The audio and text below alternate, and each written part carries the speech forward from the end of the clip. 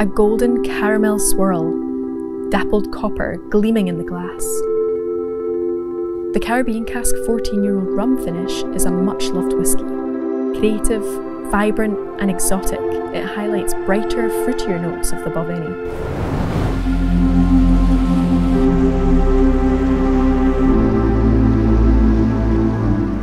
Rum has played a key part in our whisky making for almost 20 years.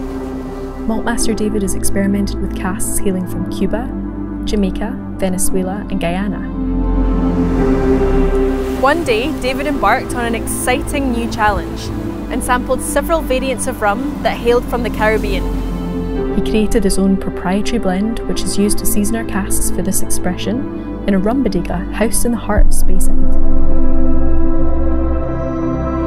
First of all, matured in ex-American bourbon barrels, the whisky becomes characteristically Balvenie.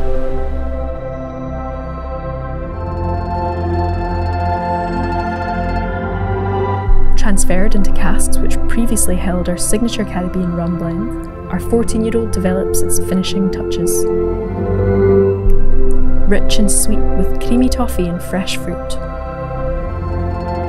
rounded vanilla, sweet oak, and a soft and lingering finish.